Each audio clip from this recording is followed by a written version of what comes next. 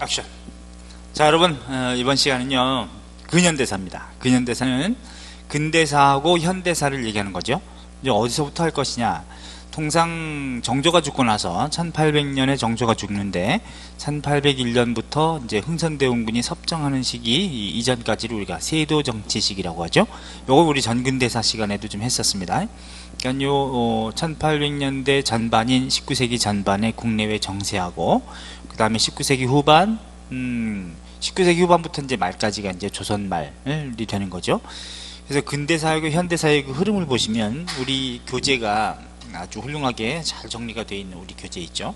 이거 보면 좀 두껍다 싶긴 하더라도 제대로 공부를 한번 하셔야 되니까 요걸 참고로 하는데 예, 참고로 교재 제목을 보시면 그 목차가 있어요. 한 장 넘겨 두 장 넘겨 보시면 거기에 8장 근대 변혁 운동하고 반침략 민족 운동 어, 이 시기에 무엇을 우리 역사적 과제로 할 것이냐가 들어 있는 거죠, 여기에. 그 다음에 9장 이제 민족 해방 운동 여기까지가 다 근대 사회입니다. 근대 사회인데 왜곡된 과정을 겪었던 것이죠.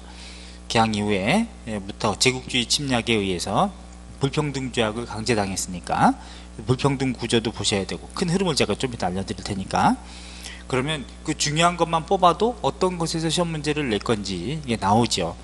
그 다음에 구장 이제 민족해방운동 여기까지가 근대인데 음, 다른 책들은 다 어떻게 해놨냐면 정말 천박하게도 어, 개항 전후부터 해가지고 1910년 경술국치 국권 피탈까지를 근대사회 전개다 이렇게 해놓고 제목을 그 다음에 민족 독립운동기는 시기를 구분하지 않고 그냥 민족 독립운동 이런 식으로만 해놨어요. 그럼 그 민족 독립운동기는 그 시기에 우리가 해야 되는 역사적 과제인 것이지 제목인 거죠. 그러니까 내용인 거지 시대 구분은 아닌 거죠. 그럼 시대를 이건 근대로 넣을 것이냐 현대로 넣을 것이냐 근대죠. 그래서 근대 원, 투를 크게 본다고 할 수도 있겠는데 어쨌든 음, 그거는 따로 뭐 근대라는 표현을 쓰지도 않고 하는 경향이 있는데 근대입니다. 아, 근대니까 근대라고 할때 음, 통상 19세기 이 전반부터 해가지고 음, 1910년 20세기 초 어, 경술국 지선까지를 아 제목으로 볼 때 이때는 어떻게 하면 봉건 사회를 극복해야 하는 과제 예, 예,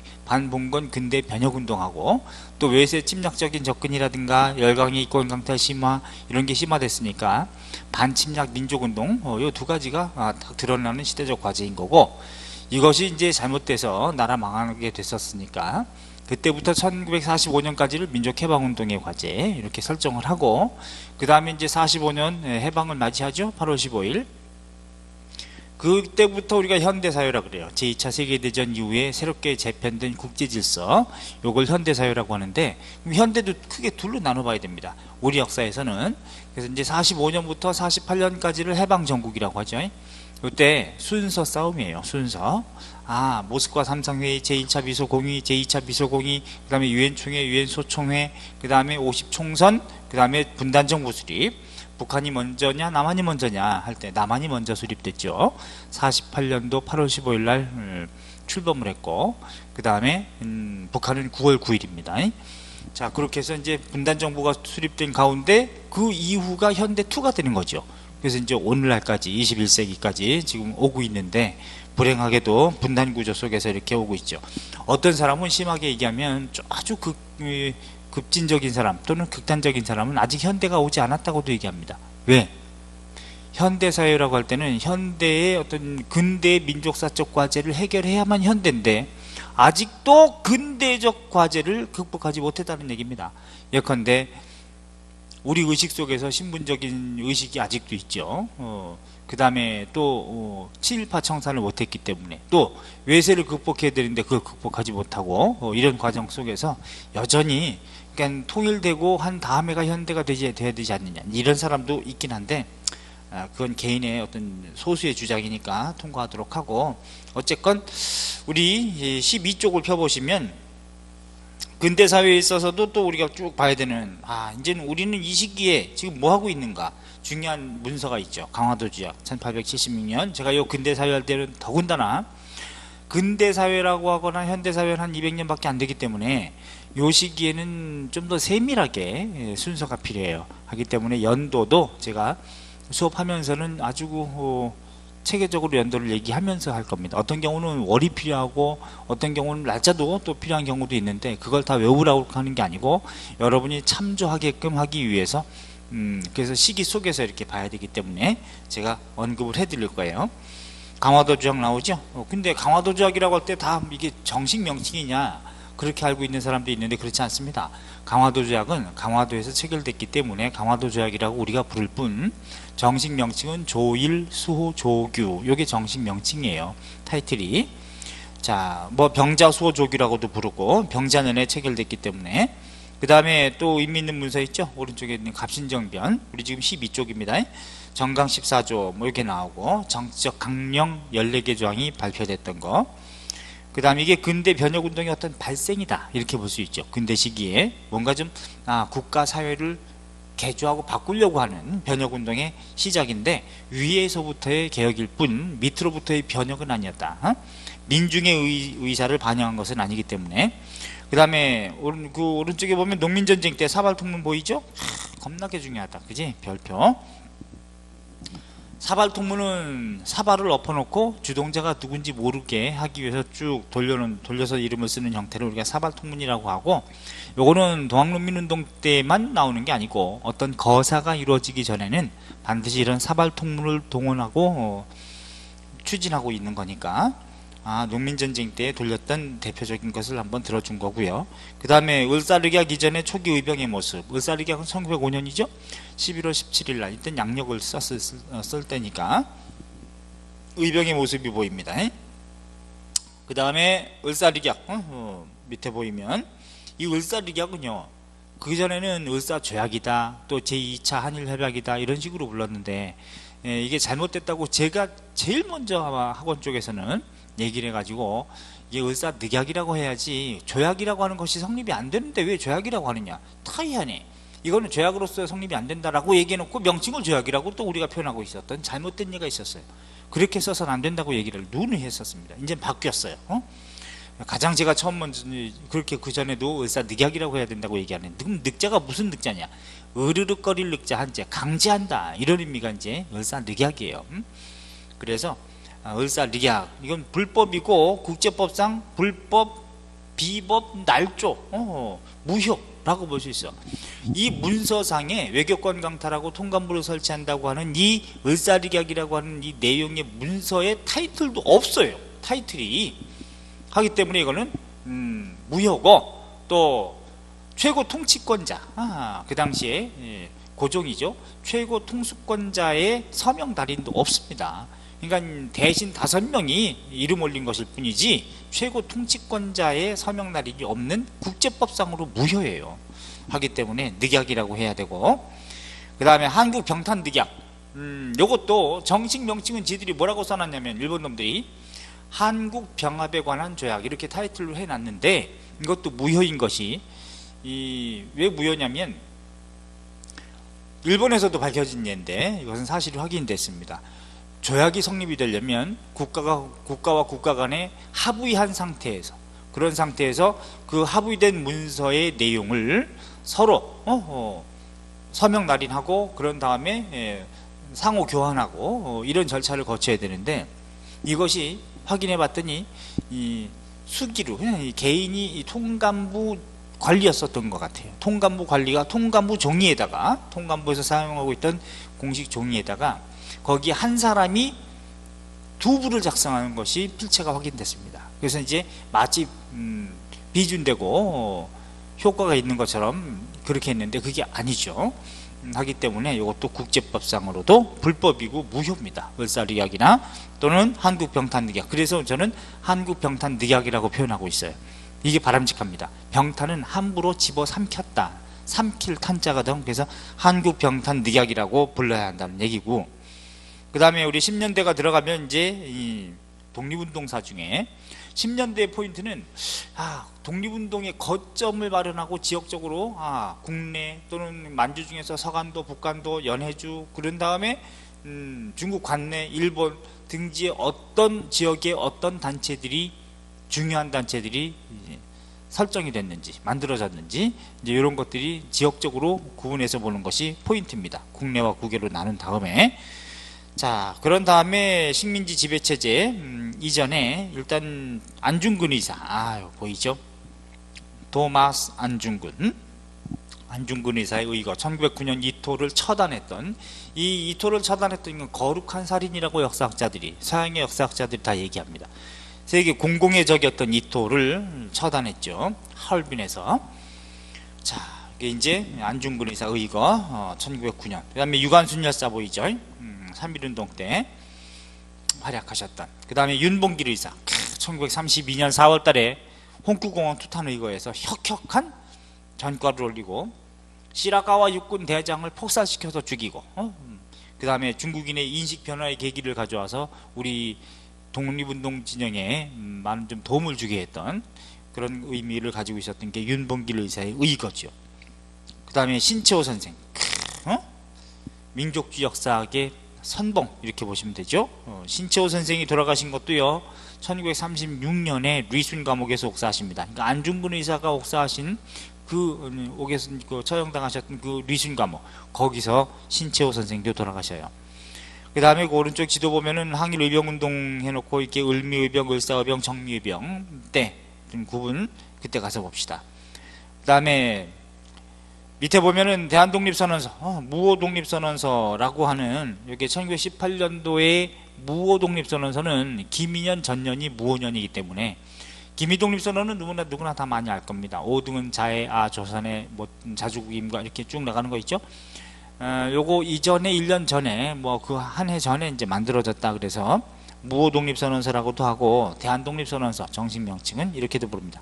조수왕 선생이 기초했다고 하는데 워낙에 또 중요하신 분이죠. 삼균주의 때문에 제가 이 조수왕 선생의 삼균주의는 수능 쪽에서도 2005년부터 제가 이거는 반드시 내야 되는 현대사회에서 특히 오늘날 필요한 가치가 들어있는 내용이다 라고 언급하고 어, 나오기 전에도 출제되기 전에도 공무원 쪽이라든가 수능 쪽이라든가 반드시 내야 된다 어?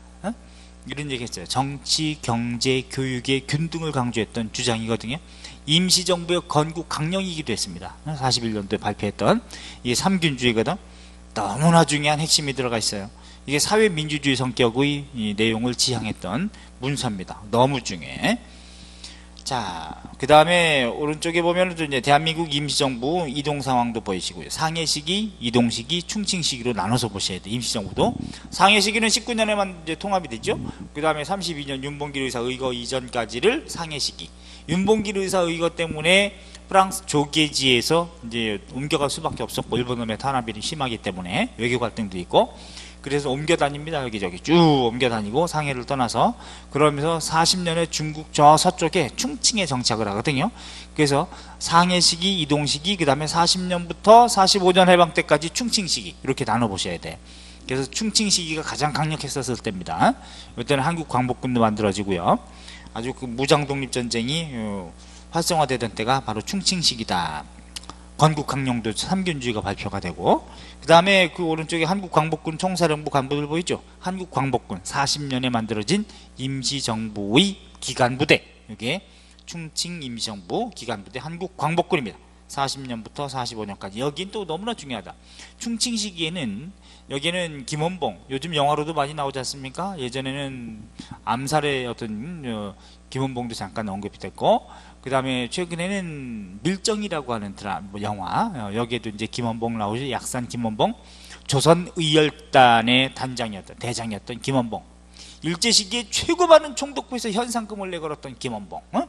그런데 잡지 못한 그 김원봉을 45년부터 48년 사이에 해방정국에서 우리 친일파의 대명사였던 노덕술이라고 하는 이 개새끼가 있었어요. 어? 친일경찰입니다. 그 개 같은 놈이 미 군정 하에서 친일 경찰을 그대로 경찰로 그대로 썼다고. 어, 군정 관리로 다 썼어요. 그 시기에 김원봉을 연행합니다. 야, 기가 막히죠. 음, 이런 일이 있었다. 어? 어, 김원, 이 노덕술이라고 하는 잡놈이 그 노덕술이라고 하는 그 개새의 손자가 누구냐? 바로 노태우 정권 때 노재붕이라고 국무총리를 하게 됩니다. 이게 바로 우리 현대사회 비극이에요. 친일 청산을 하지 못한 그 뿌리가 오늘날까지도 영향을 미치고 있는 거예요. 지금 음, 새누리당 쪽은 모두 다 친일파의 후손들입니다. 대부분이 뭐 다라고 할 수는 없는데 거의 대부분이 그래. 김무성 아버지가 누굽니까? 일제 시기에 일본에 동조했던 침략 정책에 동조했던 대표적인 친일 단체였던 임전 보국단 간부였어요. 어? 아버지가 김용주라고 그 다 뿌리들이 다 그쪽이야. 아하. 기가 막힐 노릇이죠. 그런 애들이 다 정치 경제력을 다 독점하고 있다. 오늘날까지. 현 삼성, 한화, 뭐 동양시멘트, 뭐, 뭐 두산, 우리나라 지금 굴지의 대기업은 모두 친일 청산을 못했던 친일파 후손들이 가지고 있던 재산을 그거를 나눠 가진 거예요. 어, 그 그대로. 자, 제가 거짓을 얘기하는 게 아닙니다. 있는 사실 그대로를 얘기하는 거예요. 그럼에도 불구하고 판단력 없이, 어, 저, 저 사람은 왜 새누리당 욕하냐? 이렇게 하는 사람은 제 수업을 듣지 마세요, 차라리. 예? 예. 아예 새누리당 가서 수업해달라고 그러세요. 어, 아직 아예 취직시켜달라고 하든가. 그런 사실을 모르고 그걸 옹호하려면 역사를 배우는 의미가 하나도 없는 거예요. 어?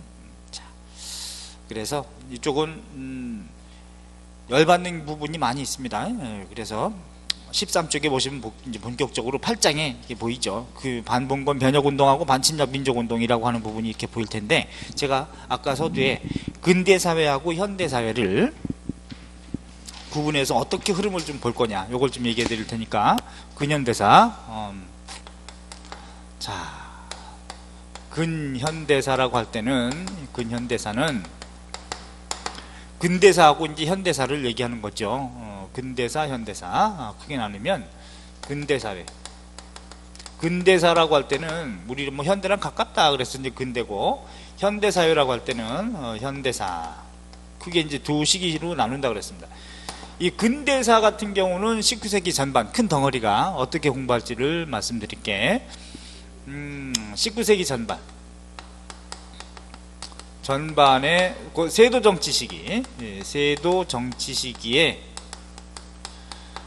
일련의 예, 사건이 있었어요. 어허, 이런 것들을 볼 겁니다. 내우 외환에 시달리는 뜻이죠.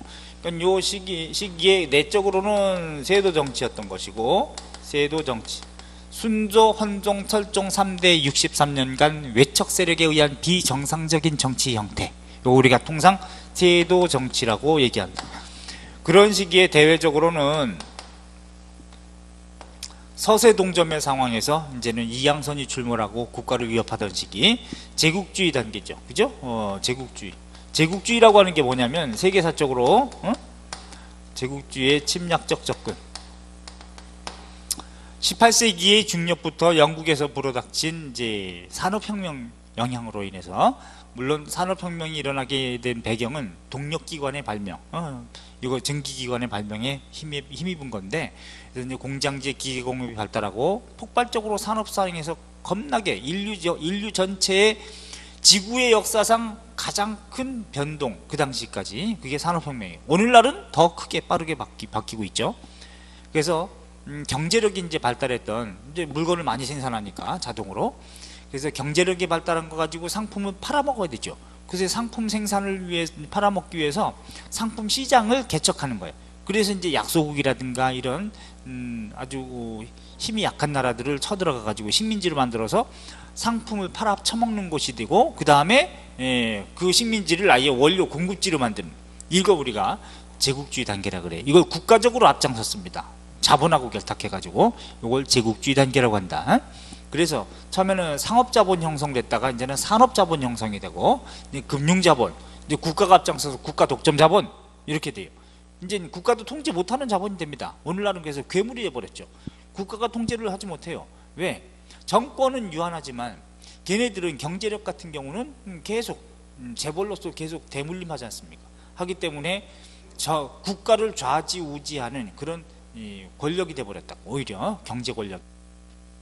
제국주의 침략에 의해 아 내후 외환에 시달리던 때다라고 보시면 되고 그 뒤에 한 덩어리는 뭐냐 이때의 흥선대원군이 물론 왕은 고종이지만 어, 고종이 1863년에 왕이 됩니다.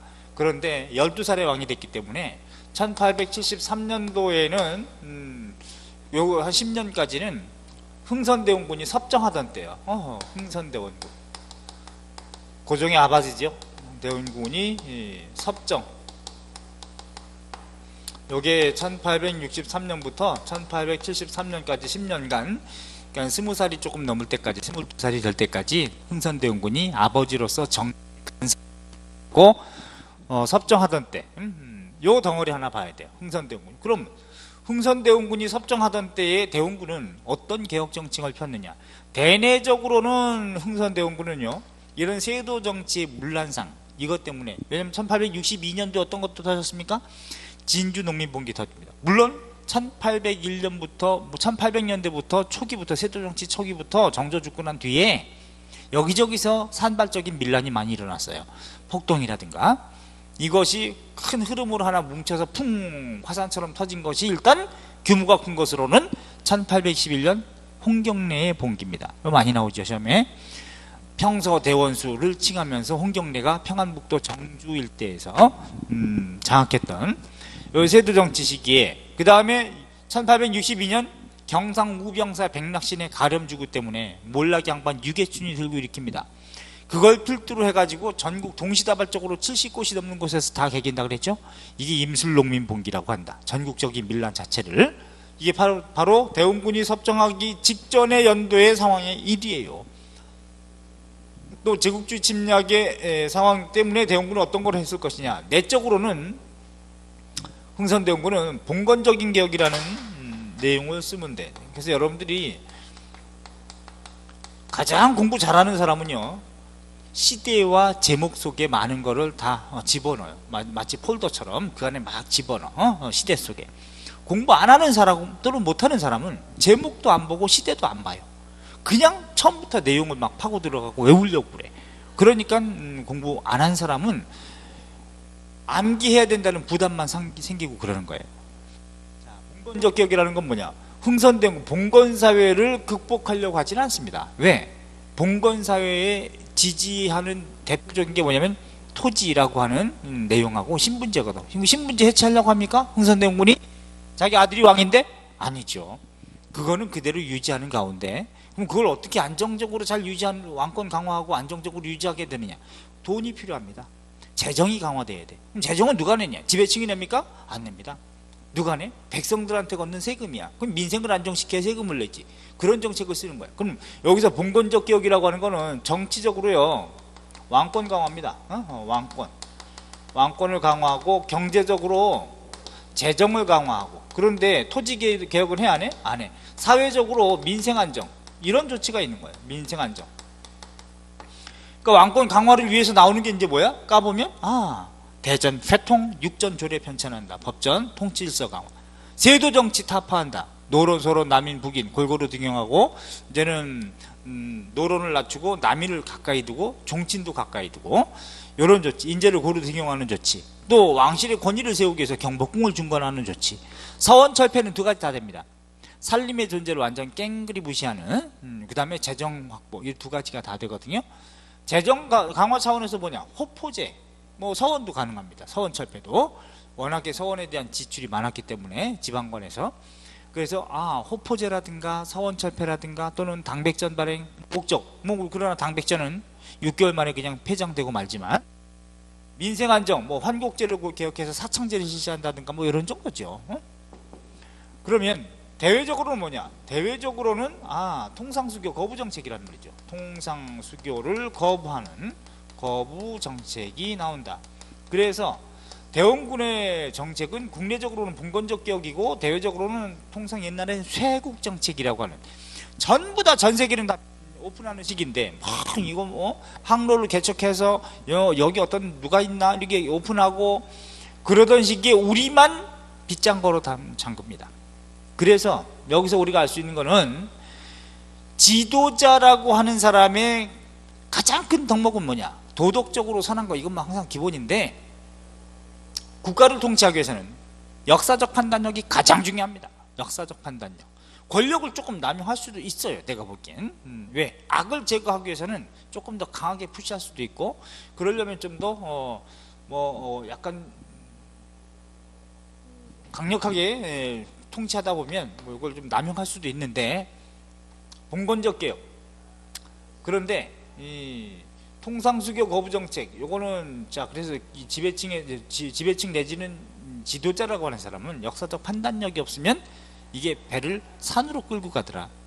그래서 세계사의 흐름에 지금 아, 발맞추지 못하는 한계가 있었다는 거죠. 어, 불행하게도. 그래서 아 지금 타이밍이 어떤 타이밍인가 이걸 잘 읽어야 돼. 이게 우리가 시를 잘 읽어야 된다 그래. 시 때를 요게 한계다. 어, 자주적 근대화가 지연되는 한계. 그래서 이때에 있었던 이제 뭐야? 제너럴 셔머노 사건 또는 병인 양요, 오페르트 삽질 사건, 신미 양요 이런 것들이 이제 막 터지고 그랬죠. 자 그러면서 이제 고종이 친정 체제가 됩니다. 아, 1873년도에 이제 이때 고종이 친정이거든. 친이 정치하는 그런 상황이 되니까 아 그래서 요때부터 해가지고 이제는 요, 요 시기에 이후에 고종의 친정 어, 고종의 친정 체제 1873년부터 해가지고 쭉 1910년 1907년 고종 강퇴 그 다음에 순종 뭐 1910년 꼴랑 순종은 3년간 그냥 허수아비로 있었을 뿐이지만 요 시기에 이제 아 불평등주약이 또 강제당하잖아요. 운요 사건 75년도 터지고 운양호라고 하는 일본 군함을 보내가지고 대포를 통해서 뻥뻥 쏴가면서 외교 관계를 강요하는 거 우리가 포함 외교라 그래.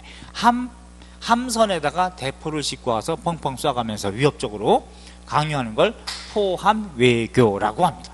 요거는 일본도 미국에 의해서 이렇게 불평등 조약을 강제당했어요. 그걸 그대로 본보기로 코치해줘. 미국이 일본한테 야, 인마, 니네 우리한테 이렇게 당했잖아. 그러니까 니네 조선 오픈할 때도 그렇게 하란 말이야. 해가지고 그렇게 해서 오픈하는 게. 그러니까 미국과 일본은 이때부터 오늘날까지도 한 통속이라고 봐야 됩니다. 뭐 영원한 오방은 없어요. 어? 자, 고종의 친정 체제에서 요 시기에 아 거두절미하고 이 시기에 민족사적 과제는 뭐냐? 일단 불평등 조약 체제를 한번 봐야 될 거고요. 요 시기에는 음, 시기 속에서 근대원 어떻게 하면 지금 제목에 나온 것처럼 봉건 사회를 극복할 것이냐? 반봉건, 봉건, 근대 변혁의 과제, 예, 변혁 운동. 의 과제가 있고 근데 외세가 선의로 오픈하려고 하고 하지 않거든요 뭔가 이권을 뺏어가려고 하고 최대한 지네가 좋게끔 집어먹으려고 하고 그래서 그 침략을 반대하는 반침략 민족사적 과제 예, 민족적 혹은 자주적 자주운동. 이 두 개의 과제가 이 시기에 역사적 과제예요. 자 우리 조선, 조선을 한번 보자. 이 조선이라고 하는 나라를 보니까 정말 가난해 이 시기에. 응? 군인들한테 월급도 못 주는 상황이었으니까 그래서 이 조선이라고 하는 아주 가난한 프롤레타리아 국가가 부르주아 국가인 열강이라고 여러 강대국 있잖아. 그지? 예, 열강. 얘네한테 거의 집어먹힐 상황이 되는데 이 조선이라고 하는 나라를 딱 보니까 양반 지배층이고요. 크게 보면 농민 크게 나누면. 물론 뭐 농민 이외 사람도 많지만 양반이 이게 부르주아 계급 아닙니까? 그 다음에 농민은 프롤레타리아 계급 아닙니까? 지금도 자 양반 중에서는 이 시기에 선각적인 사람도 있었어요 어? 어, 예컨대 개화 세력도 있고요 척사 세력도 있습니다 척사 개화라고 하는 건 지금 오픈해야 한다는 생각을 가지고 있는 사람이야 어? 반면에 척사는 사악한 것은 배척하자 그게 위정척사죠. 위, 지킬 위자의 정. 바른 것은 지키고 사악한 건 배척하자. 이게 위정척사인데 그러면 사악한 건 뭐냐? 아, 서양이라든가 외놈이라든가 이런 건 사악한 거. 그 다음에 중국 왕조라 하더라도 오랑캐가 성립시킨 왕조인 청이라든가 만주족이니까 명, 곧 한족이 세운 나라만 정통으로 보는 것. 요거 우리가 아 정통론이라 그래. 이걸 위정척사라 그래. 그것만 지키자. 그 아, 한족, 명, 성리학 이건 아주 지키고 그것에 물을 들였던 우리나라 조선 봉건 질서 이거는 주자 성리학 이건 지켜야 된다 그거 이외엔 다 배척이다 어? 이거 우리가 위정석사라 그래 자 그러면 개화 세력에 있어서는 개화 세력은 두 가지 중에 하나만 있어. 예컨대 반봉건은 있습니다. 반봉건. 얘들은 봉건 사회를 반대한다는 생각은 해. 근데 반침략이 없어요. 어, 반침략. 외세를 끌어들이려고만 해. 반침략. 요게 없네? 개화 중에서도 급진하고 점진으로 나뉩니다. 급진은 김옥균, 박영영, 홍영식, 서황범, 서재필. 일본을 끌어들여요. 갑신정변 일으키죠. 반면에 점진개화파 온건도 잘못된 말이야. 다 어. 온건은 과격의 상대적인 개념이 온건이라는 표현이죠. 그럼 급진개화파의 상대적인 개념 뭐냐? 점진개화든지 완만개화든지 이렇게 표현해야 돼. 다 얼마나 잘못됐는지 몰라 지금. 음? 아마 국정교과서 만들어서 만, 나오면 아주 누더기에 그런 개칠한 교과서가 없을 겁니다. 어? 어, 나중에 또 한번 까주, 까드릴게. 자, 그 다음에 얘들은 그래서 이제 음, 점진개화파라고 하는 애들은 바로 이제 청을 끌어들여요. 그러니까 다 외세를 끌어들이려고 그래. 예? 개화를 하려고 하는 하는 하면서 하면서도 적사 세력은 반봉건이 없습니다. 얘들은 반봉건이 반봉건. 봉건 사회를 반대하려고 하는 생각은 없어. 아, 지주전호제 인정해야 된다. 또는 신분제도 그대로 유지해야 된다. 이런 주장을 해. 그래서 얘들은 반봉건이 없어요. 반봉건이 없어. 봉건 사회는 지키려고 해. 얘들은 only 원 반침략밖에 없어. 반침략. 외세는 무조건 나쁜 놈이다. 어? 배척해야 한다. 이런 주장만 하거든. 그래서 얘들은 의미 있는 게 하나씩밖에 없다 이 말이죠. 어, 하나씩밖에. 두 가지가 섞여 있으면 좋은데. 에? 근데 개화는 척사하고 척사는 개하고 서로 대립하더라. 근데 농민들은 어떠냐? 우리 참 어? 배우지도 못한 이 농민들은 어? 이 봐봐요. 여기서 양반한테도 봉건적인 수탈을 많이 당했던 농민들은 그러니까 봉건 사회 싫은 거야. 반봉건 주장합니다. 반봉건. 또 하나 외세 침략으로 인해서 피해보는 건 그대로 또 양반보다는 누구예요? 농민이죠. 그래서 반침략 두 가지 야 배우지도 못한 사람들인데 에? 이 민족사적 과제를 온몸으로 저항하더란 말이죠. 어? 온몸으로. 그게 바로 뭐냐? 1894년도 농민전쟁인 거예요. 농민전쟁. 여러분들 교재에는 뭐 어떻게 배웠었을 텐데 이거는 그냥 동학농민운동은 캠페인이 아닙니다. 단순히 어떤 무브먼트 차원의 개념보다도 전쟁이에요. 이거는 나의 개인적인 생각이 아니고 역사학계, 정치학계, 사회학계 학자들이 다 모여가지고 한번 이걸 어떻게 규정해야 할 것인지를 개념 정의를 어떻게 할 것인지를 그걸 가지고 다 토론을 한 결과입니다. 그래서 지금 대학에서는 전부 다 농민전쟁이라 그래요. 어, 가보년이라고 표현할 뿐 가보농민전쟁이라고 할 것이냐 아니면 도항농민전쟁이라고 할 것이냐 1894년 농민전쟁이라고 할 것이냐 가보 동학농민전쟁이라고 할 것이냐 앞에만 다룰 뿐 농민전쟁이라는 교집합은 공통점이에요. 이게 농민전쟁 왜? 이거는 목숨 걸고 투자한 거예요. 나중에도 하겠지만 그러니까 시험에 겁나게 많이 나와. 요거 요거 빠지면 근현대사가 아니에요. 근대사회에서 이게 가장 중요합니다. 농민전쟁이. 여기서는 패전개혁안에서도 제12조 중에서 지금 뭐 11개는 어, 반분권 성격. 하나 외와 통하는 자는 엄징한다. 엄이 징벌한다 이런 반침략 성격이 다 있고 처음부터도 외세 외를 배척하고 들고 일으킵니다 더군다나 이 시기에는 일본하고 정부 가보정권하고 결탁을 해 농민들을 탄압해 오히려 고종은 여덟 번에 걸쳐서 농민들을 토벌하기로 하고 그런다 문서까지 내리고 일본 놈한테 1894년도 농민들을 토벌하는 군사작전 지휘권까지 넘깁니다. 이게 바로 고종이었어요. 그러니까 내가 고종을 좋게 볼 것이며 명성황후를 좋게 볼, 볼 수가 있겠느냐? 우리가 절대 그건 아니죠. 자, 물론 명성황후를 안타깝게 여기지 않는 조선인은 없겠죠. 그러나 역사 속에서 보면 일본이 당연히 그건 범죄인이지. 근데 명성황후가 그래서는 안 된다는 거지. 예, 그 전에 민비. 예. 죽음은 누구나 다 아쉽고 슬프죠. 어, 근데 명성황의 그런 그 어, 예, 처참한 죽음 때문에 우리가 뭐 나중에 뭐 어, 조수미의 노래도 슬픈 노래도 이렇게 나오고 그러지만 근데 그것만이 다가 아니다. 아, 왜? 국모거든. 예? 왕비기 때문에 어떤 정책을 써야 할 것이냐 그게 중요했었던 것인데 안타까운 부분이죠. 어쨌든 농민전쟁 그래서 이것이 대부분 정부하고 결탁된 일본하고 결탁된 이 가보 정권이 농민들을 대거 다 죽여버렸단 말이죠. 이 시기에 1894년 1월부터 음력 12, 11월 12일까지 공주 우금 시전대에서 패배할 때까지 네 시기로 나눠 보셔야 돼. 1, 2, 3, 4기로 나눠서 꼭 보셔야 됩니다. 이거 아주 중요하죠. 대거 근대 변혁운동의 세력을 파괴시켜버린 거예요. 그러니까 좌절된 거죠. 토지 달라고 했는데 토지도 안 주고 어? 일본놈 배척하라고 하는데 배척도 안 하고 어? 오히려 농민들로 죽이고 어? 오히려 정부하고 한, 음, 힘을 합쳐가지고 일본을 뇌물자국까지도 전- 전봉주는 제안했는데 개무시하고 어? 결국은 나라라도 지키든가 나라까지 다 작살내고 어? 인민들 다 끌려가게 하고 어? 일제시기 만들고 어? 이런 상황이 돼버린 거예요. 음. 자, 그래서 요거 계열에서 나중에 뭐냐 활빈당이 나오고요. 어, 활빈당. 그 다음에 이제 어, 을사 정미의병으로 이어지는 거예요. 정미의병.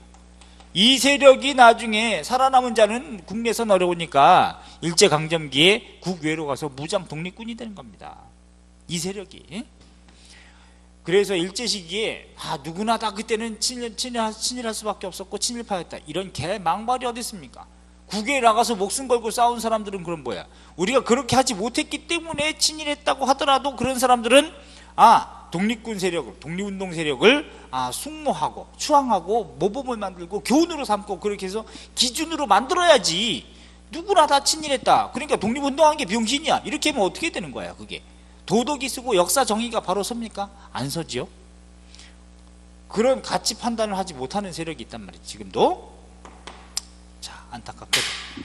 그럼 이쪽에서 어떻게 이어진 거냐? 반봉건이 이쪽이 아 둘로 나뉘어가지고 갑신정변 나오죠. 나중에 가보기형 나오죠. 그죠? 가보, 가보도 1차도 있고 2차도 있고 3차도 있고 그렇습니다. 가보 1차, 2차, 3차. 이것도 외우지 않고 이해하는 방법을 얘기해 드릴게요. 이게 이제 3차가 을미기역인데 그리고 독립협회 나오죠. 그죠? 독립협회. 그런 다음에 아 한말에 계몽운동을 계몽운동. 물론 독립협회하고 좀 상극이었던 것 중에서 이제 광무개혁도 나오지만 광무개혁 대한제국 시기에 그 다음에 애국계몽운동이라고 우리가 통상 얘기하는 어? 애국계몽운동 계몽운동으로 한 말에 이어지더라. 자, 그런 다음에 이제 반침략 성격만 가지고 있었던 척사 세력은 위정척사 운동이 나오는 거죠. 그죠? 어, 나중에 쭉 가서 을미의병이 나와요. 어, 을미의병.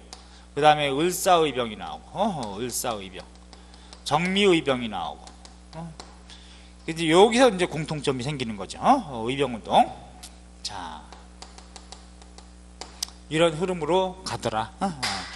그런데 1910년도에 나라 망했습니다. 경술국지죠. 어허, 이때부터는 이제 민족 해방 운동이 나오게 되는데 민족 해방 운동, 해방 운동의 과제. 요거는 1910년부터 해가지고 1945년까지가 이제 민족 해방 운동일 텐데 이 민족 해방 운동도 네 시기로 반드시 나눠봐야 됩니다.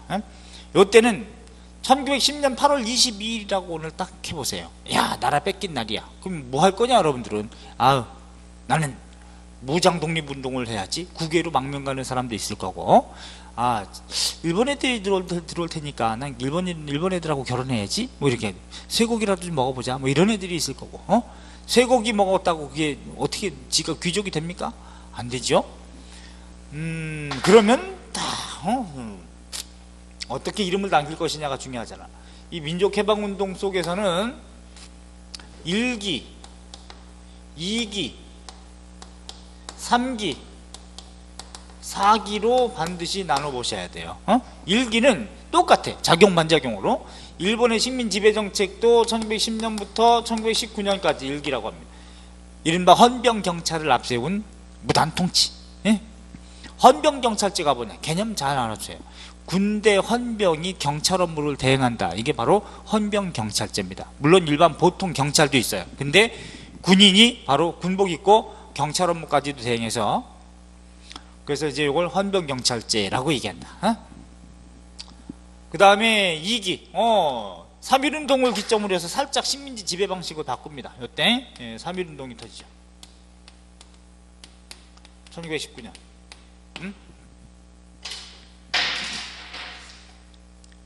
그래서 1919년부터 1931년까지를 2기라고 그래. 만주사변을 기점으로 해가지고. 만주 쳐들어갑니다. 자, 그래서 여기는 이제 만주사변을 기점으로 어, 살짝 바꾸죠. 음, 만주사변. 1931년도에. 그러면 2기는 이른바 걔네가 말하는 문화통치를 표방하는데 문화통치는 강압적인 총칼을 앞세워서 통치하는 게 아니라 아 회유하는 거죠. 친일파를 양성한다. 공식적으로 나오죠. 어? 음.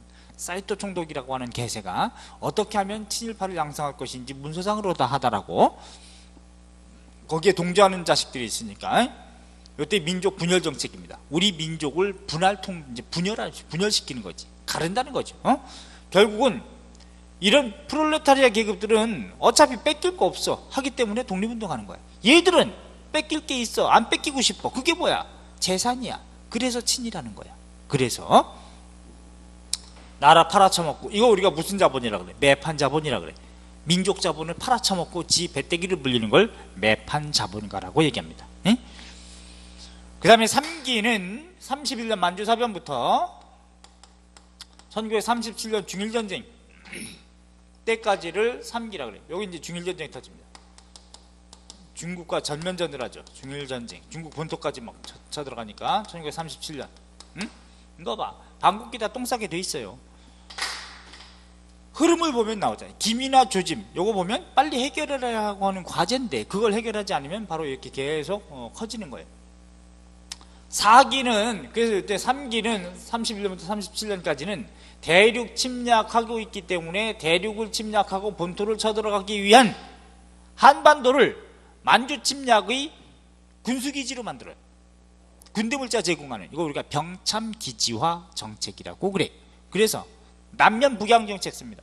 남쪽은 면화 생산하게 하고 북부 지역은 양모 생산하기 위해서 의무적으로 집집마다 다섯 마리씩 양을 키우게 했어요. 털 깎아가지고 공업원료 만들기 위해서. 그 다음부터 이제 10년대, 20년대는 주로 경공업 중심으로 어, 지배했고 그랬는데 30년대부터는 중공업이나 군수공업, 광공업, 화학공업 위주로 이제는 북부 지역의 공장들이 많이 집중되어 있는 거죠. 전력 공장, 공장이라든가 이런 것들이 그래서 대륙 침략을 위한 병참 기지화 정책을 추진하던 때 그래서 나오는 것이 바로 농공 병진 정책이라 그래. 농업 정책을 수정하고 농민들을 회유하고 또는 탄압하고 공업 정책을 식민지 공업 정책을 추가하는 이걸 농공 병진 병진은 나란히 진행시킨다. 이걸 농공병진 정책이라고 그래요. 오케이? 그런데 여기서부터 요 시기를 모두 민족말살 정책 시기라고 해도 상관은 없습니다. 31년부터 30, 45년까지 그렇다 하더라도 끊어야 된다는 얘기지. 예? 예, 세부적으로 보면 그래 놓고 37년부터 1937년부터 1945년 요때까지가 최고 강력했던 때인데 일본 놈들의 식민지 지배 방식도 가장 강했고 우리도 무장 독립 전쟁이 활성화되던 때인데 요때는 아 전시 국가 총동원 체제입니다. 이제는 1938년도에 바로 중일전쟁 다음에 일본 놈들은 국가 총동원법을 공포합니다. 식민지 조선에도 그대로 적용을 해요. 일본도 그대로 적용하고 국가 총동원법이야. 그래서 국가 일본이 침략 전쟁을 하기 위해서 인적 자원이나 물적 자원을 다 동원하겠다. 이게 국가 총동원법이에요. 그래서 이제 우리나라에도 바로 국가 총동원령이 공포가 돼가지고 다 남자들 여자들 뺏 이제 전쟁터로 끌려가는 겁니다. 그래서 여러분들이 잘 아는 정신대라고 하는 용어. 정신대가 뭐냐? 정신대라고 하는 거는 참 정말 개념 없이 음, 스피릿을 얘기하는 게 아니에요. 우리 머릿속에 형이상학적인 정신을 얘기하는 게 아니고 앞장설 정자의 한자로 몸신자 단체 부대 대자 그래서 12살부터 40살까지 미혼 여성을 모두 끌고 가지고 여성들 같은 경우에 공장에 집어넣고 어, 물건 만들고 만드는데 어, 강제하고 또 전쟁터에 끌고 가고 이거 다 정신됩니다. 일본 천황을 향해서 혹은 일본 국가를 위해서 군대를 위해서 충성하는 돌격대 앞장서는 단체 이걸 정신대라고 그래요. 포괄적으로. 오케이? 그 정신대 중에 노동자로 끌려가도 정신대고 다 정신대인데 그 중에 군대 위안소에 강제로 끌려가서 하루에 50명씩 대학에 만들었어. 전쟁 성노예로 만든 이것. 이게 바로 한국, 우리나라 여성이나 필리핀 여성이나 중국 여성이나 이렇게 끌려가 가지고 전쟁 성노예로 이렇게 처참하게 유린했던 요게 바로 일본 놈들이에요. 어? 일본 놈들. 난 이런 거 보면 신이 없는 것 같아요. 어? 이게 신이 있으면 이 지경으로 만듭니까? 세상을? 그건 안 되지. 이런 비극을 왜 주는데? 에? 그래서 나는 지금 법이 원망스러워. 어? 국제법이 원망스럽고 만인에 의한 만인의 투쟁 상태가 된다 그러면 경복궁 가서 일본 놈 다 죽이고 싶어요. 그 치가 떨려. 어, 그런 놈들을 보면. 그래서 내가 맨날 쪽발이 쪽발이 외놈 외놈 그러니까 경복궁 데리고 가서 우리 애들 데리고 갔더니 하도 그러니까 우리 꼬맹이가 어렸을 때 에, 일본 관객 관광객 왔는데도. 아빠 저 외놈, 외놈 저기 있네 뭐 이렇게 에, 얘기하더라고. 그래서 야 걔들은 돈 쓰러 왔으니까 그냥 냅둬. 거기 걔네들한테 외놈이라고 하지 말고 그냥 아 일본 애들 뭐 이런 식으로만 얘기해라. 어, 이렇게 얘기했거든. 그러니까 어, 여러분도 그런 가치는 좀 가지고 살아야죠. 응? 그래서 이때 가장 강력했는데 이때 이제 민족 맞살 정책 중에서도 국가 총동원 체제, 전시 구, 전시 수탈 체제라 그래. 왜? 더군다나 이때 유럽에서도 이미 독일이 폴란드를 침공하면서 제일 유럽에서 세계 대전이 터졌습니다.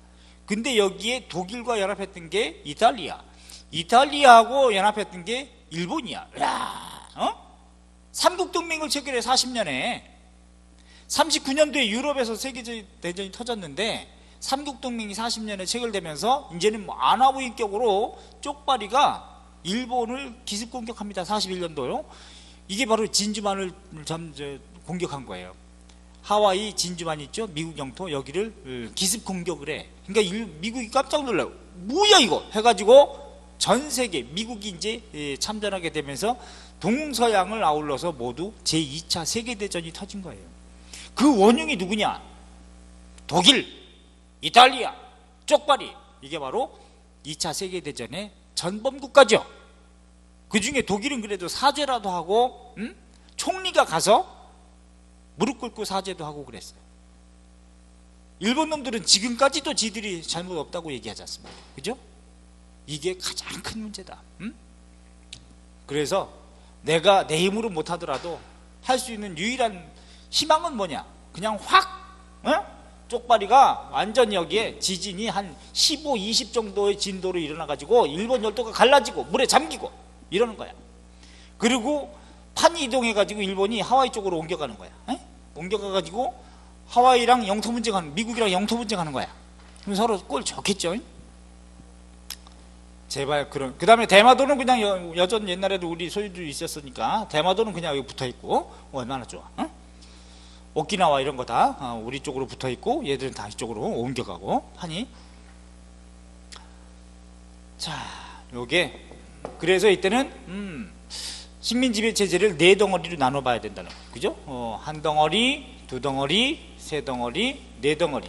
그러니까 우리도 요것에 의해서 작용 반작용으로 아 나눠 보셔야 돼. 어떻게? 요때 민족해방운동은 일기 반일 민족운동 지역별로 어떤 단체가 있는지. 2기 요때는 민족해방운동의 성장과 분화가 이루어지던, 이루어지던 시기.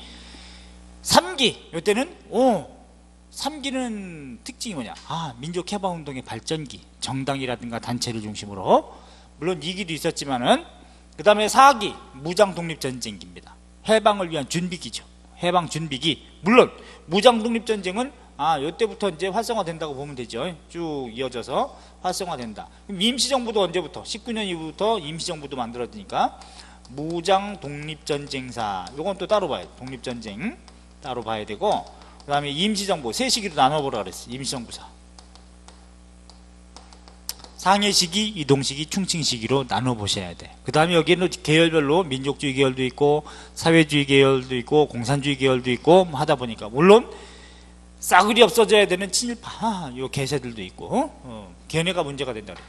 자 그런 가운데 어쨌든 45년도 8월 15일 날 어쨌든 8월 6일 날 히로시마에 원자폭탄 터지고 8월 9일 날 나가사키 거기 짬뽕 나오죠 거기에 이제 원자 폭탄 하나 터지고 해가지고 결국은 일본이 무조건 패망을 하고 항복문서 쓰는 게 8월 14일이에요 그래 놓고 8월 15일 날 12시 넘어서 방송으로 라디오 방송으로 어 일본 국왕이 예, 항복을 선언하거든. 그래서 우리는 이제 8월 15일을 기점으로 잡는 거지만 2차 세계대전 종전은 8월 14일이라고 보시면 돼요. 오케이? 자, 그런데 그 뒤부터 현대라고 한다면 현대 사회는 어떤 민족사적 과제가 해결돼야 되느냐? 현대는 해방됐어. 여기 해방이요. 해방.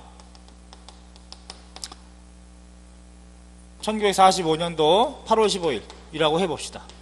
그런데 해방되자마자 아유 우리를 둘러싸고 외세가 들어오네 이런 예? 외세 여기서 외세라고 하는 것은 미국과 소련이에요 미국과 소련이 들어오고 외세 때문에 그 미국과 소련이 합의해서 분단이 이루어집니다 분단이 만들어 여기서 분단은 뭐예요 사, 휴전선이야? 아니지. 분단은 38도선입니다. 38도선으로 나뉘어지는 거야. 그럼 38도선으로 나누자고 한 것이 이게 누가 제안한 거냐? 미국이 제안해서 소련이 오케이 해서 만들어진 게 38선이에요. 그러니까 우리나라 근대와 현대의 비극의 요소는 미국과 일본이 다 개입돼 있다. 어? 한 놈으로. 그럼 분단된 게 언제냐? 어떤 사람들은 한국전쟁 끝나고 나서 6.25 끝나고 나서 38선이 만들어진 거라고 생각하는데 그건 군사분계선이죠. 이건 위선입니다. 이게 45년도 정확하게 9월 2일 날 획정이 돼버려요. 응? 우리 의지와 전혀 무관하게 45년 8월 15일 날 해방됐는데 보름 있다가 38도선으로 끊어집니다. 얘네가 끊었어요. 어? 미국과 소련이 미국이 제안해서 소련이 일방적으로 그렇게 두 나라에 의해서 분단이 돼버린 거야. 그 분단 구조 속에서 미국을 등에 업은 우익과 그 다음에 소련을 등에 업은 좌익이 서로 대립을 해. 더군다나 모스크바 삼상회의가 1945년도 12월 27일 날 모스크바에서 미국, 영국, 소련이 모여가지고 한반도 문제를 가지고 신탁 통치하기로 합의하죠. 근데 거기서는 임시 민주정부를 수립해준다. 신탁 통치안을 합의했고 미소 공동회를 개최한다. 그러면 그 세 가지 안이 모스크바 삼상회의의 결정 내용인데 신탁 통치도 누가 하자고 제안했느냐? 미국입니다. 미국이 신탁 통치안을 43년부터 공식적으로 주장하게 돼. 야, 돌겠네. 그지? 이런 역사적 사실이 있는 거야. 그런 구조 속에서 바로 독재가 이루어졌다. 현대사회에. 북한이나 남한이나 뭐 독재는 북한은 상당 쉽죠? 세 덩어리만 보면 돼. 김일성 독재. 응? 그 다음에 김정일 독재. 지금은 저 돼지 같은 핏덩어리, 그 김정은이 북한도 참 문제죠. 요게 북한도 북한 인민들도 참 답답하고 어, 한 명에 대한 우상숭배 이건 북한도 이제 끝장난 거야. 북한이 무너지는 거는 타이밍의 문제입니다. 역사적으로 보면 난 절대 빨갱이 아닙니다. 역사적으로 정의를 추구할 뿐이지 빨갱이 아니에요. 걔네들이 한 건 인정하고 우리도 한 건 인정하고 그럴 뿐인데 북한은 독재가 문제다. 어? 어, 김일성 독재, 김정일 독재, 김정은이 뭐 했습니까, 기가? 걔를 왜 따르니? 뒤집어엎고 암살을 하든가 어떻게 해야지. 예, 답답하네. 북한도. 남한도 자유롭진 않다. 응? 북한은요, 하나의 장점은 역사, 친일청사는 좀 남한보다 확실하게 했다는 거. 그러니까 북한은 역사성은 높아요. 어, 역사성은 높아. 근데 민주성은 낮아. 민주성, 이건 낮다라고 봐야 돼. 예? 예. 민주성. 남한은 남한은 역사성이 개판이야. 예? 역사성. 친일파가 지금까지도 이렇게 후식민 사학을 이끌고 남한, 예, 대한민국을 좌지우지하는 권력이 됐으니까. 역사성은 개판인데 민주성은 좀 높아졌어. 북한보다는. 그죠? 지금 민주화도 위기를 맞고 있지만 이런 문제점이다. 그러니까 통일되면 북한의 역사성과 남한의 민주성, 어? 요것이 결합돼야 되는 거죠. 그죠? 민주가 이거는 민주라고 하는 건 민주주의라고 하는 개념은 어떤 다수결에 의한 정치 원리일 뿐이지 그러면 친일파들이 그 후손들이 많고 걔네들이 뭐 지금 정보력을 이용해 가지고 왜곡시켜 가지고 동조시켜서 어? 걔네를 많이 찍었던 그것도 민주냐 아니죠 민주가 중요한 게 아니에요 정의가 중요한 거예요 정의 정의로운 민주 세력이 승리해야만 그것이 바람직한 거지 민주는 그냥 정치 원리일 뿐이야 어? 정치 원리 북한도 지들은 뭐라 그래요 걔네도 민주주의라고 합니다 왜? 조선민주주의 인민공화국 왜? 정당이 물론 음, 조선노동당이라고 하는 정당이 행정부 역할도 하면서 독재하지만 북한 인민들의 지지를 받는다고 걔네 공식적으로 얘기하지 않습니까? 그건 걔네 입장에서 민주라고 얘기는 해 그게 민주가 중요한 게 아니다 어떤 가치를 담고 있는 세력이 사회를 주도하느냐. 이게 중요한 거지. 다수결의 원리 정치 원리인 민주주의 자체가 중요한 게 아니란 말이에요. 어? 중우정치가 나타날 수 있기 때문에. 그래서 정의로 그럼 정의가 뭐냐? 정의는요 두 가지가 또 있어요. 보편적 정의가 있겠죠. 시대적 정의가 있습니다. 보편적 정의는 어느 시기든지 어느 사회든지 다 강조가 되는 인권 또는 자유 평등 뭐 이런 것들은 복지 이런 것들은 뭐 보편적인 정의가 될 수 있겠죠. 시대적 정의는 이 시기에 해결해야 하는 과제 이 시대적 정의입니다. 볼까? 우리 지금 이 시기에 어떤 게 시대적 정의야? 외세를 배척해야 되는 과제. 이거 극복해야 되는 게 시대적 정의예요. 자주야, 자주. 지금도 미국이 무기 사, 무기 사라 그러면 분단 구조 속이기 때문에 무기 겁나게 사. 돈 허벌나게 쓰죠. 국방비 지출 겁나게 쓰, 많고. 그러니까 도시락 안 주고 그러는 거야. 분단 구조 속을 이거 극복해야 되는 게 통일의 과제야, 통일. 통일시켜야죠. 통일해야지, 그지? 통일. 독재에 대한 과제. 이게 바로 민주거든. 어? 민주. 민주, 독재에 대한 과제. 이게 민주란 말이야. 그럼 이 세 가지 과제가 현대사회의 과제다. 그러면 통일정책, 이거 한 문제 한 문제 나온단 말이에요. 자주 한 문제 나와. 이거 언제 나오냐? 45년부터 48년까지 순서 하나 나온단 말이에요. 어, 순서. 민주에 대한 과제 한 문제 나온단 말이죠. 정치적으로 민주주의 성장 과정 나오지. 그지? 정권별로 봐야 됩니다. 4.19라든가, 어, 4.19. 그 다음에 반유신, 유신독재 반대투쟁. 그 다음에 5.18 광주 민주화운동, 어? 민주항쟁. 그 다음에 6월항쟁. 87년 6월항쟁. 이런 가치들이 중요했기 때문에 이런 것들이 시험에 나올 수밖에 없고 또 내야 되는 것이고 순서, 사료 배치하고 이건 정치적인 개념이죠. 경제 민주화 운동도 중요하다. 전태일 열사 분신투쟁 70년이라든가 어? 또는 79년도에 YH 무역 사건이라든가 뭐 이런 것들이 이제 의미 있게 중간 중간에 또 들어가야 되죠. 여기에 경제적으로 이제 아 복지가 복지 시대의 화두라고 내가 2005년부터 그렇게 강조합니다. 복지. 옛날에는요, 복지를 하려면 어떻게 해야 돼? 분배를 해야 됩니다. 분배를 강조하면 다 빨갱이라고 그랬어요. 아, 저거 좌파, 빨갱이. 이런 개새들을 봤나? 어? 오늘날은 새누리당이 빨간색이야. 어? 당 로고가. 그죠? 박근혜도 복지를 내세워서 대통령 당선됐어요. 그 흐름을 무시했던 게 저, 저 오세훈이야. 그죠? 서울시장 할 때. 무상급식 그지 반대해가지고 응? 투표 붙였다가 어, 멍청하게 그 시대 흐름을 파악하지 못하는 거죠. 이제는 고령화 시대가 됐고 어, 이제는 우리 가까운 뭐 여러분 할머니 할아버지 다 80대 되실 겁니다. 80대 그죠? 90대 되신 분도 계시고 친할머니 치, 뭐, 뭐 친할아버지 외할머니 외할아버지 뭐 80대 대부분 다 되실 거예요. 할아버지 그러면 여러분 부모 나 이런 세대는 어떨 것이냐 당연히 90대 뭐 병 걸리지 않으면 100대예요 어? 100세 시대야 그런데 국가에서는 몇 살에 나가래 50대면 끝이야 그지 공무원 되지 않습니까 공무원 되면 60까지 보장은 되겠죠 어? 대충 그런데 30살에 공무원 된다고 쳐봐 그럼 60살까지 보장된다고 쳐봐 그러면 7급이나 9급인데 요때 30년이야 30년 곱하기 매월 매월 30년 곱하기 매월 지출, 지출하는 거 빼고 저축만 매월 100만 원씩 한다고 쳐봐요. 100만 원. 매월.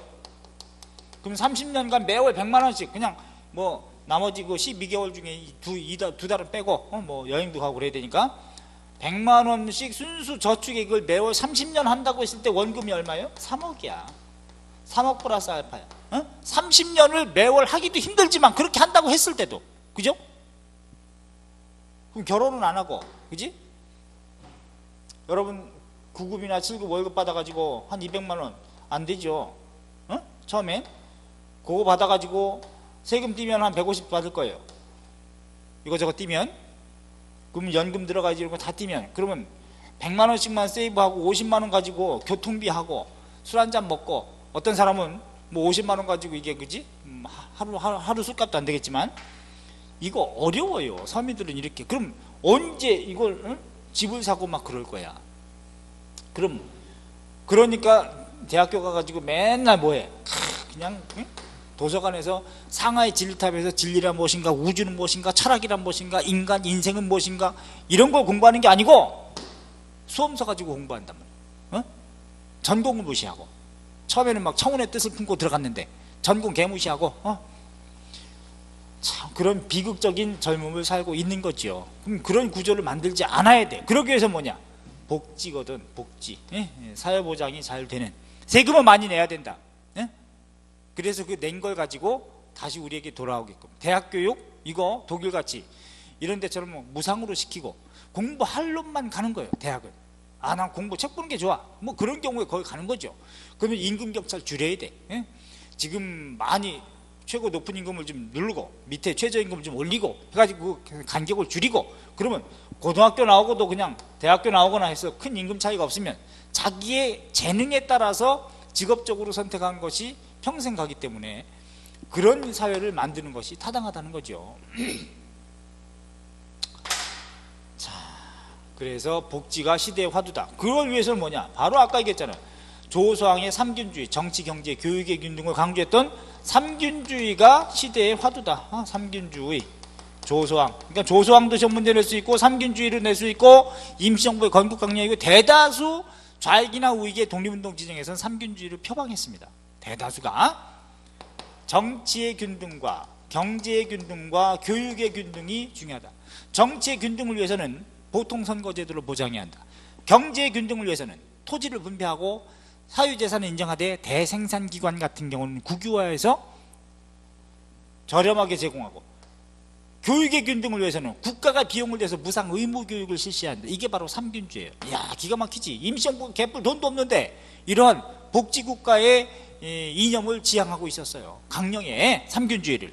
지금은 세계 10대 경제 대국이라고 하는 나라가 중학생들 무상급식 하는 것도 개무시하고 안 주고 어? 어. 경상 경상남도는 이건 정말 반성해야 돼. 에? 홍준표 어? 뭐 이런 도지사 이런 인간들 무상급식 에? 그것도 한 부분이거든. 어? 국가가 비용을 내서 무상 의무교육 제도를 실시해야 한다. 요 두 개가 밀접한 관련이 있고요. 이 두 개를 결정하는 게 정치거든요. 그래서 경제적으로 이런 평등성이 보장되지 않으면 교육의 질적 차별이 생겨. 그럼 교육의 질적 차별이 생기면 어떻게 돼? 그게 고착화돼. 그게. 그걸 원하는 게 지금 돈 있는 애들이죠. 그지? 교육 평준화 시키지 않으려고 하고, 어? 자, 그래서 교육과 경제가 밀접하고, 어? 그러니까 이건 금방금방 바뀌거든요. 정치 권력은. 어. 또 시세에 따라서 굉장히 바뀌는데 그러면 역사적으로도 지금 그런 도덕이라든가 정의가 서게 하려면 교육이에요, 교육. 그래서 친일파들 후손들은 이 정치, 경제 이게 유착이 돼 있고 이거 가지고 교육을 지배하려고 한다고. 어. 왜? 교육을 함몰시켜야 되거든. 그래서 바꾸는 게 뭐예요? 교과서입니다. 그래서 교과서 바꾸고 왜곡시키고 그러는 거지. 역사 교과서도. 왜? 교육에서 의식화되면 옳고 그른 걸 판별할 줄 아는 교육이 되게 되면 걔네들이 잘못한 것을 비판하거든. 그걸 못하게 만들기 위한 것이 바로 그래서 교육이 제일 중요한 거예요. 교육이. 예. 가치관을 설정시키는 교육. 알았죠? 교육. 자, 이렇게 해서 우리 현대사회 정권별로 또 봐야 되면 이승만 정권 있죠. 현대 와서. 그 다음에 누구예요? 허정 화도 정권 있죠. 그 다음에 장면 정권 있었죠. 박정희 정권 있었죠. 그 다음에 최규하 어, 권한대행하다가 대통령 했었죠. 그런 다음에 하야시킨 게 전두환 정권이죠. 전두환 또 한 번 했었죠. 그런 다음에 노태우 했죠. 그 다음에 김영삼 했죠. 김영삼까지 정권 교체된 적이 없어요. 단 장면 정권을 제외하고 그때는 평화적인 방법은 아니었어요. 어? 사회혁명 직후니까 그것에 의해서 만들어졌으니까 현대사회 최초의 평화적인 방법의 여야 정권 교체는 김대중 정권입니다. 알았죠? 평화적인 방법이라는 말을 넣었을 때는 김대중 정권 그런 다음에 노무현 정권. 어, 이건 뭐 어, 같은 정권이고. 그런 다음에 뒤집어졌죠. 그게 바로 이명박 정권. 지금 4대강 다 녹조라 떴댔지 그지? 예, 이명박. 그런 다음에 박근혜 정권. 아 기가 막히네. 그래서 오늘날까지 오고 있다. 그래서 정권별로 봐야 돼그 알맹이가 어떤 게 있는지. 자 이게 근대사회과 현대사회의 예, 흐름입니다. 어? 어. 근데 제일 중요한 건 뭐냐 근대든 현대든 간에 아, 사건 순서를 보는 것이 가장 핵심이다 어? 사건 순서 알았죠? 이걸 계기적으로 봐야 돼. 계기적으로. 계기적이라고 하는 거는 원인과 결과, 인과관계를 통해서 아, 어떤 사건 때문에 어떤 사건이 나오고 이렇게 계기적으로 사건 순서를 정리하는 것이 가장 중요한 포인트가 됩니다. 알았죠? 자, 이렇게 정리해 드리고 시대 흐름 알려드렸으니까 좀 쉬었다가 본격적으로 세부적인 내용 한번 들어갈게요. 근대 사회 중에서도. 아셨죠? 쉬었다 갑니다.